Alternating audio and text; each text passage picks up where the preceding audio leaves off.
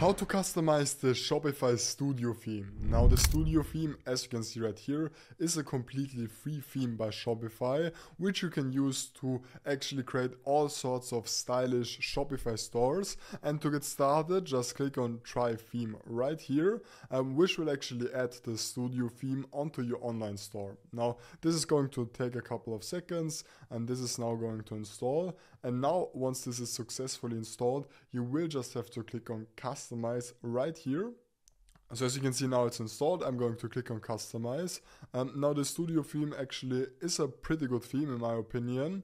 Uh, as you can see it is going to have a kind of minimalistic, clean, aesthetic vibe and basically it is great to actually create all sorts of different stores. Now to get started we are going to go through this from top to bottom. Basically this is going to be the editor with Shopify. Um, you can select each of these elements and you can then select them on the, uh, basically edit them on the right and you can also see a general overview right here on the left and right here on the left you can also select all of the different elements. Now right here on the top you can then change the different kind of sites that you want to edit and right here on the right you can change the view of this. So if you for example want to look at the mobile view which I would recommend you to do because nowadays it is super important to actually also customize your stores for mobile then you can do that right here. But as of right now, we are going to go with desktop right here. And that's basically how the theme editor with Shopify works. So to get started, we are going to edit the announcement bar right here. So basically, I will just select this right here on the left. And then I'm going to change this to something. I don't know. I guess I'm just going to say minus 20% off um, for orders above $100 okay? This is just an example. And then actually we can also make this clickable by simply just pasting a link in right here or just selecting the site that we want to uh, actually redirect the customers to. So in this case, I guess I would just select products and all products. And now when someone is going to click on this right here, they're going to be redirected to the all products tab right here, as you can see. So I'm going to head back to the home page and now we can actually edit the header right here. Basically, as you can see, as of right now, we don't we basically don't have a logo for our store. And to change that, we're actually going to uh, go to the theme settings right here on the left. This is basically just the general settings for all across your site. Right here you can set kind of the default parameters you could say. And right here on the logo, you will then just have to upload your logo onto this. So I'm just going to, I guess I'm going to select my black logo right here. Then I'm going to upload this. This is going to take a couple of seconds and I'm going to add this. And now this actually got added onto our store. We can then actually change the width of this. So basically the size of this if you don't want to, but I guess I will just leave it at 110 pixel. And then we will also have to upload the favicon. Now the favicon is basically just um, the icon kind of that you can see on top of all of the different tabs, um, which you will also have to upload. Otherwise it is just going to stay at the default. And then we can actually also go over all sorts of other different theme settings. This is going to include stuff like colors, typography, and so on. By the way, you can right now get completely free access to my comprehensive Shopify beginner course by using the link down below. This will also grant you access to a community with hundreds of like-minded people so that you can grow together, so make sure to check that out if you want to. Now, as for the colors right here, by default you are going to get a lot of different color schemes, which usually work great. However, if you do actually want to add your own custom colors onto this, you can do this by simply just adding a new scheme right here. And you can actually use tools like coolers or colors, I don't know how this is pronounced, but basically with this, you can generate all sorts of different color palettes, which you can then use for your website inside right here. Okay, then you can basically also added all sorts of other things, but I don't want to bore you guys. This is basically super self-explanatory. However, if you do have any questions along the way, make sure to leave them in the comments down below or join my community where you can instantly get help. But either way, we are going to just head back to the sections right here and we are now going to get started actually customizing this.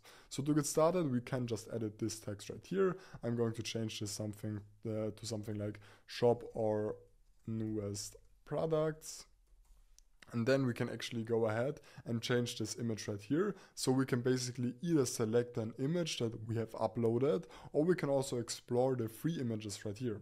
So in this case, I would then just select, I don't know, clothing and then we can add some of these images. So I'm going to add this one right here. I'm going to click on select and then this got added. And now we do have this featured product section right here. We also have this section, which actually I'm going to delete as I don't really like this. So to actually delete this, you will just have to click on the bin icon right here.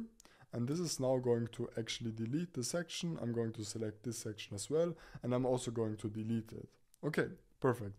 And then we can actually go ahead and add new sections onto our homepage. Now, this is basic, this basically works the following. You will just have to either go to the plus right here and click on add section, and then you're going to have tons of different sections which you can add.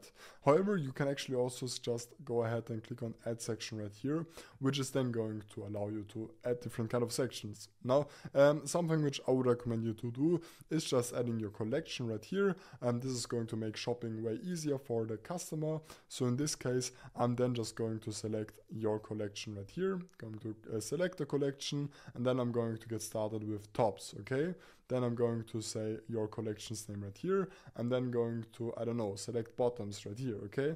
And then as I don't currently, currently don't have a third collection, I'm then just going to actually delete this block right here, which once again you can do by just pressing the bin button right here and then this got deleted. Okay, and now you now you can basically further customize this if you do want to. However, there's actually still something which I want to actually go over, which would be the header right here and which would be the menu bar. So as you can see right here under the menu, you do have all sorts of different uh, basically menu items. Now to actually change this, you will have to click on this right here, which is then going to redirect you to the menu settings. So if you then want to add new menu items onto this, maybe uh, all products, tab right here, you can do so and you will then just have to select the link or basically the page that this should redirect the person to. In my case, I'm then just going to select on products and I'm going to select all products and I'm going to add this. And now this got added and if we're now going to actually refresh this store, this should get added right here. And as you can see, now this has gotten added. Perfect. And now we can actually further customize our homepage. Let me actually redirect you to the homepage. Um, we can then, for example, also add another um, section onto this, which would be, uh, I don't know, a collage section or a multi-column section. Multi-columns actually work great for stuff like reviews, for things like um, where you're basically going to display the different kind of incentivizes on why people should buy your product. Um, or for example, we could just say that, okay, this first um, heading is going to be by, I don't know, John B. And then we can say, uh, I don't know, great product, da da da da. And then we can actually also add a link label onto this. So we can then say shop our products. And then this is going to actually allow you to um, select a link. Once again, in this case, I'm just going to select the all products separate here.